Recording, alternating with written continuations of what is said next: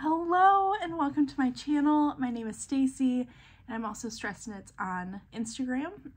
And I'm coming to you from Detroit, Michigan on championship weekend, um, where I live with my husband Doug, our daughter Eliza, and our pug Esther. If you couldn't guess, the Lions are playing today. It is I I have all of the energy and all of the excitement about it. Um, and I know not everyone's into football, but we this is the first time in my lifetime that I have seen them win a playoff game, make it to the championship game, and I just I can't believe it. And my dad and I have been saying all week we're just 60 minutes away from a Super Bowl, which is something that just feels wild. Um, anyway, so I'm very chipper and upbeat about that today. And um, Doug is playing downstairs with Eliza with Legos. And I just wanted to come up on this beautiful rainy day and talk to you about kind of my intention this year with making. And I also got a haircut yesterday on a whim and um, very into it.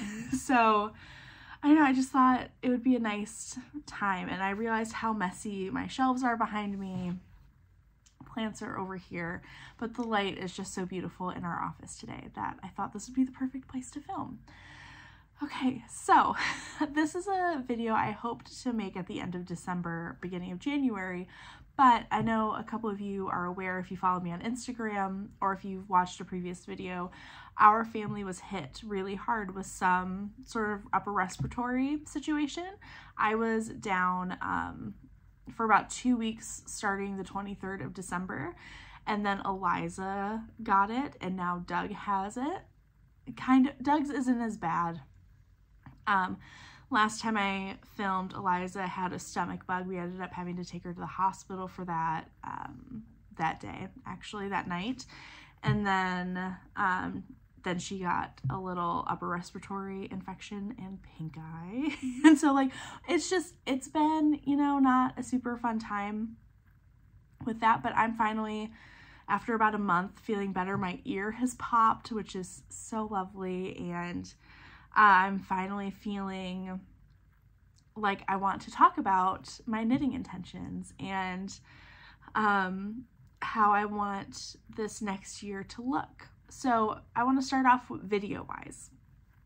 So I will be vlogging and doing some extra videos over on Patreon. I've taken a bit of a break um, just for personal reasons and I am starting to work on a video for over there.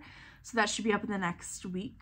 Um, so there will be extra content over on Patreon more regularly and then with YouTube, I really want to make at least one video a month uh, I really love the what I made in a month, what I'm planning to do next month videos, but I also want to share things like this, um, where I just talk through some project planning and what I'm thinking, yarns I'm excited about, um, and all of that.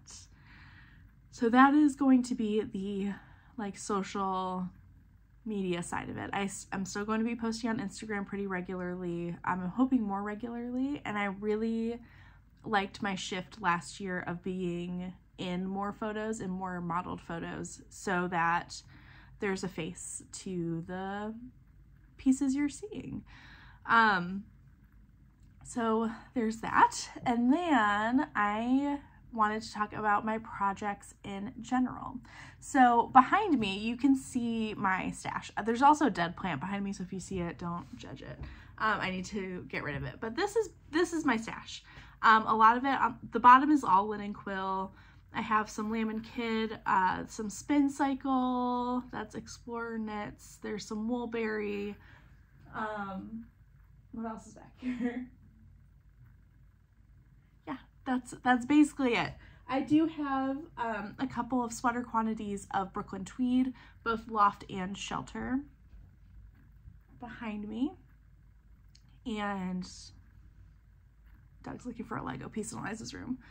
Um, and I really want to pull from stash this year. I have so much that I love that um, I just, that's kind of what I want my focus to be. I also want to de-stash, you can't see it, there's another row over here, but I have a little cubby of some yarn that I loved in the moment, but I don't really have plans for.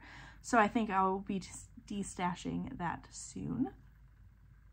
Uh, so I want to um, use my stash and that kind of folds in to the theme for the year which I wasn't really planning, but the more and more that I thought about projects and what I want to knit, what is on my needles, if I want to frog things, if I want to finish, um, I really decided that this year I want to make with intention. And I think that is a very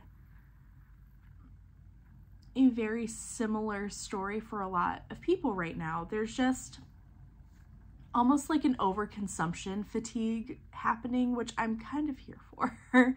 um, I just feel like there were so many years where I wanted to knit and make the new thing, the thing everybody's talking about.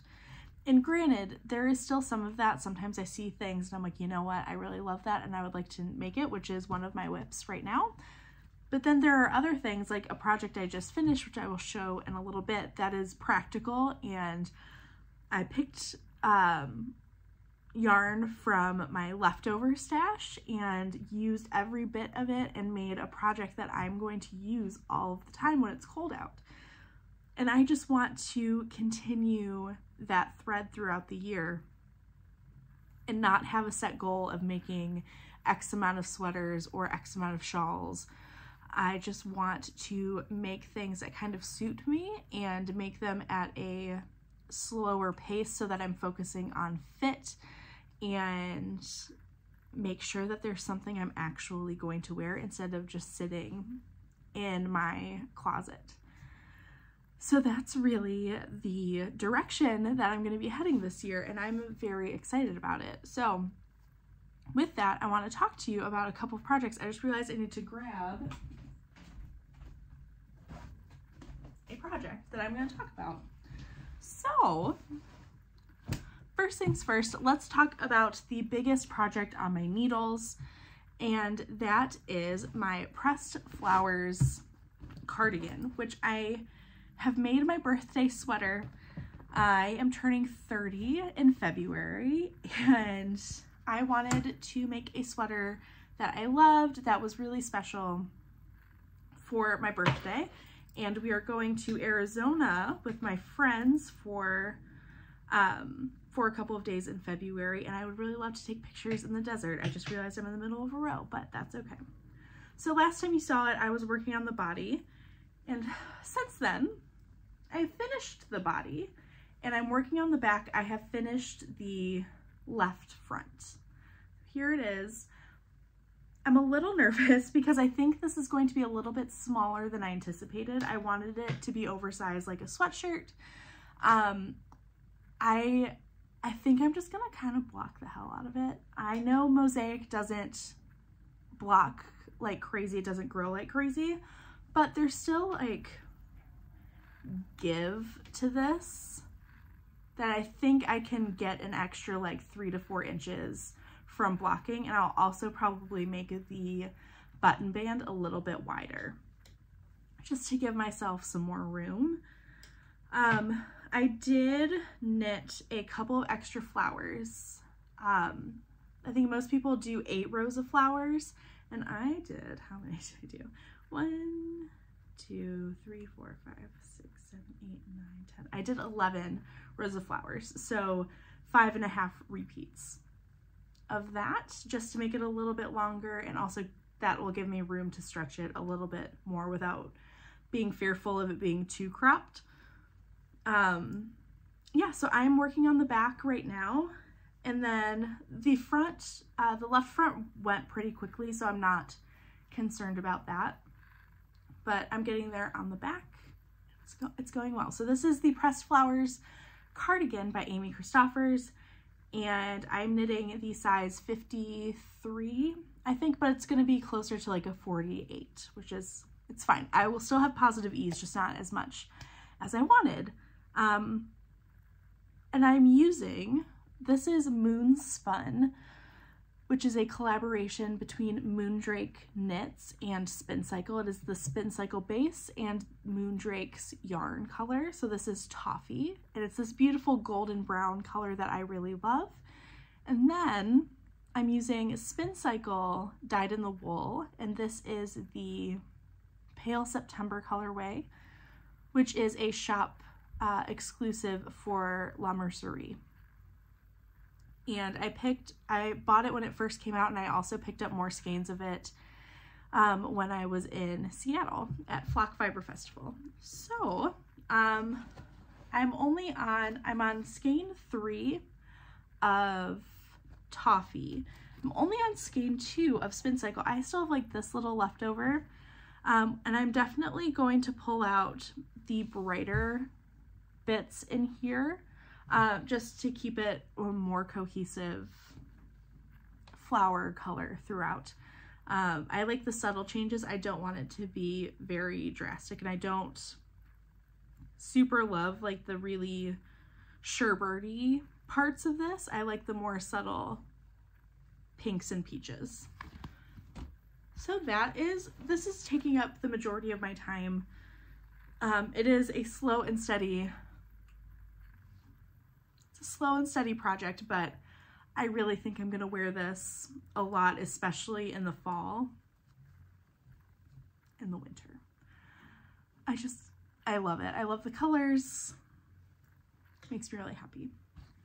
And I also just love the idea of this is me coming into my 30s. So that is the main project. I did take a side journey into the world of mittens because um, Michigan, just and most of the Midwest and Northeast had this really frigid snap, which we have most years recently, um, but where the real feel was like negative 20. And I don't have gloves or mittens, which is silly. So I knit myself a pair of mittens. This is the simplest, the world's simplest mitten pattern from Tin Can Knits. I was inspired uh, by Jackie's son uh, from Jackson Rose, previously Caddy Jacks. Um, her son Wantorn had knit and knit these mittens, and I was like, you know what? I really need to knit mittens. So I did that, and um, I knit the adult small, the DK size. This mitten pattern is so simple. It'll be linked below.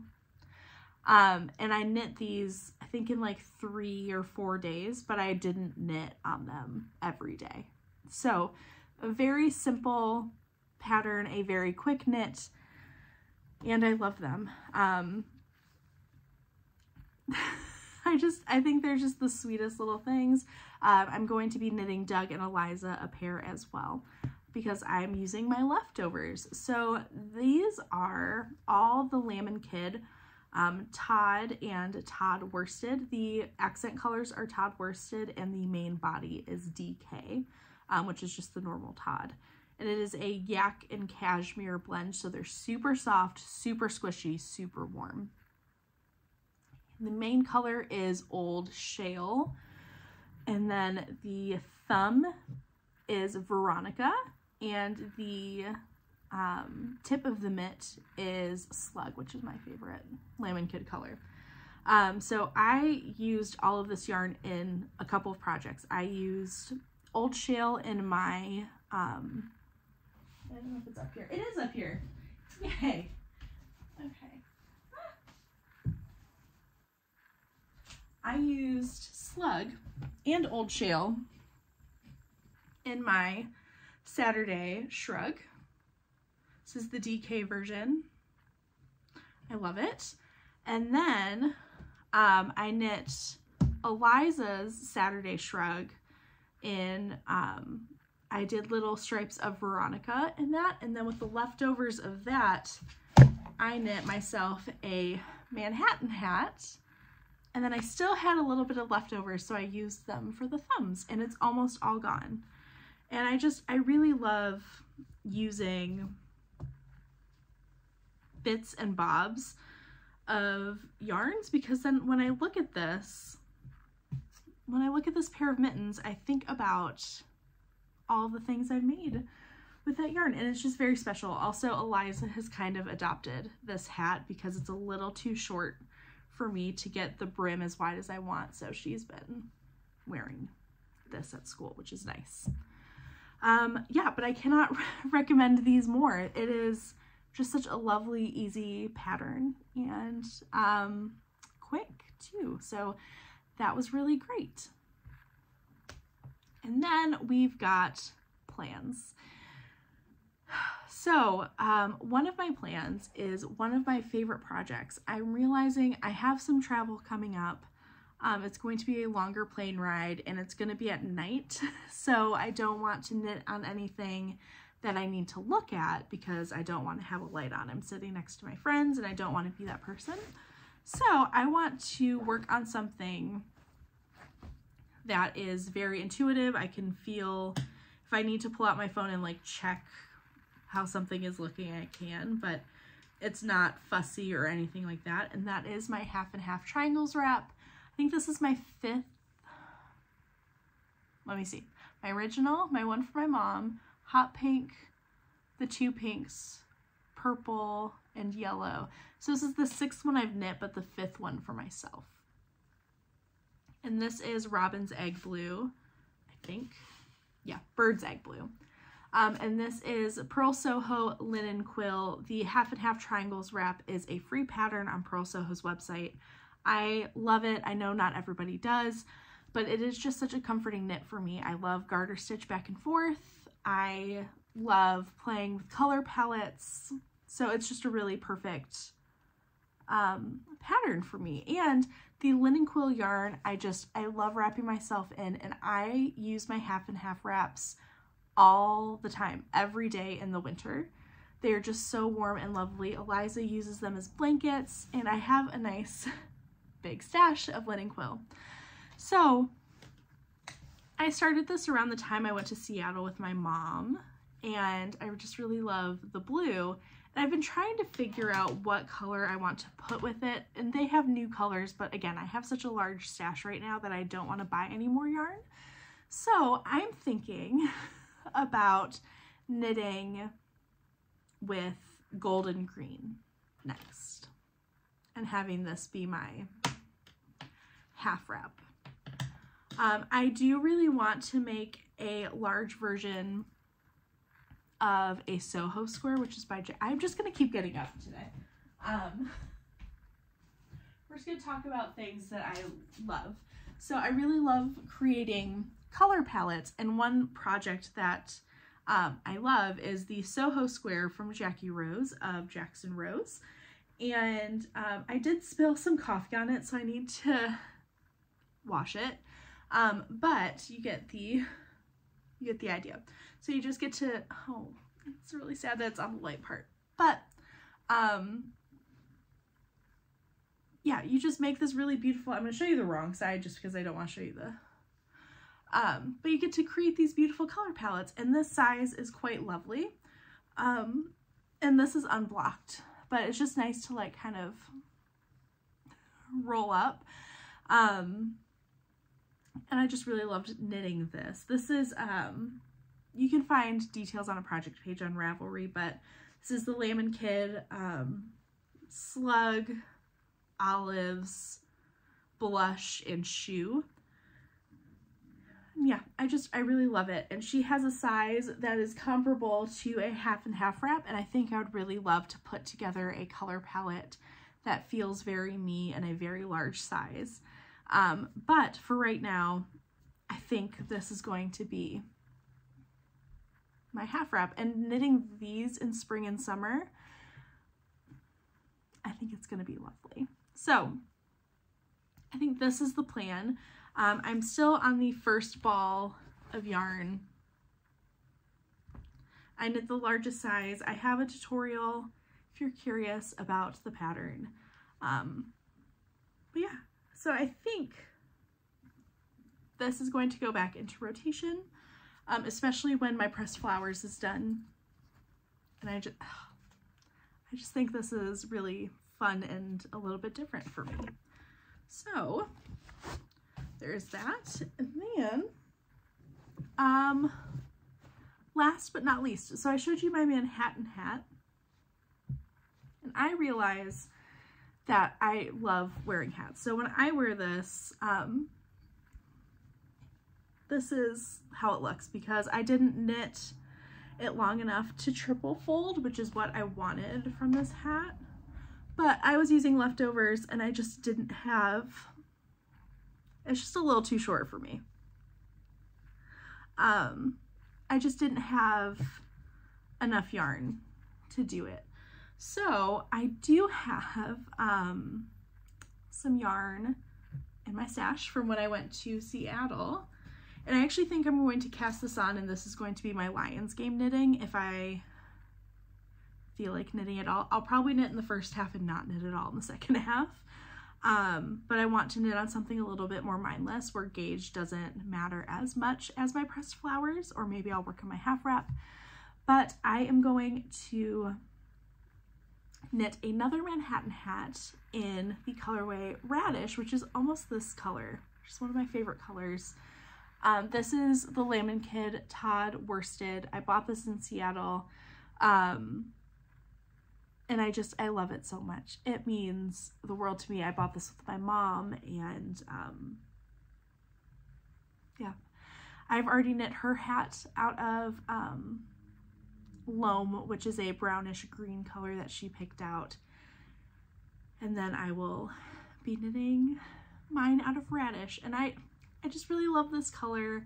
I wear this sweatshirt all of the time because I love the way this color looks. And so I think if I have a hat, and I have a dark green winter coat, so I think this will go really well with it. And yes, I think that's going to be cast on soon and just have some mindless knitting. Um, what else? What else? I'm not going to think about another sweater until my pressed flowers is off the needles, or at least I'm on the sleeves and then I can start thinking about swatching and whatnot. Um, but that's really everything. I'm really looking forward to a year of sitting down, going through the entire process of knitting and really thinking through my decisions, thinking through my sizes, thinking through my yarn choices, and making clothes that I'm actually going to wear and look at what sweaters I do wear. I use my, um, I'll probably do another video on the sweaters that I wear most, but I really love a positive ease sweater um, that hits like right at my hip that I can tuck in or not depending on how I want to look. And I also wear um, tank tops a lot because I love a layering piece. I always have a sweatshirt or a flannel or a jacket over top and I wear them so much. I wear my tank tops a lot. So when I have those things in the back of my mind and really think through what is going to work for me. Um, I want to know, do you have any go-to projects? Do you have things that are maybe not the most impressive knits, but you like you pull at them again and again? Do you have um, a more complicated knit? And by complicated, I mean just like the pa there's patterning, maybe there's cables, maybe there's lace. Is there something that's maybe a little bit more complicated that you have made that's a very important piece in your wardrobe. I want to know these things. I want to know what yarns you love. I really love hearing about your opinions, so if you could let me know below because I really want to continue making clothes that I'm going to wear and I want to know what you wear and why. All right, so that is it. Go Lions, and I will see you next